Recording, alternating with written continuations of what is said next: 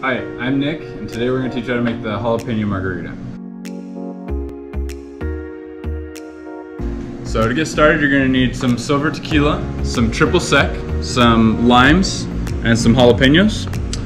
Um, you need about two ounces of lime juice, about ounce and a half of tequila, and three-fourths triple sec, about an ounce of jalapeno simple syrup. Teach you how to make the jalapeno simple syrup. First, you want to start with boiling some water. Get about a three cups of water to one cup of sugar.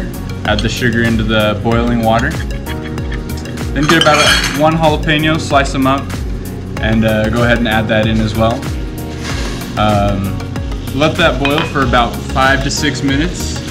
Once that's simmered, uh, you can strain the jalapenos from the water and it'll be a jalapeno simple syrup.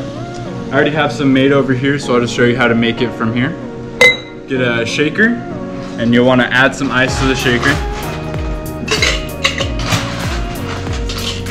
Then you go ahead and add the ingredients, so two ounces of lime juice, one and a half ounces of tequila, one ounce of our jalapeno simple syrup, and then another three-fourths ounces of triple sec. Go ahead and add that in, and then you're gonna give it a good shake.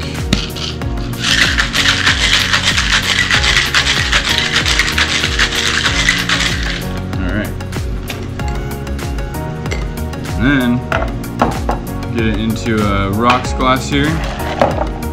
Add some ice.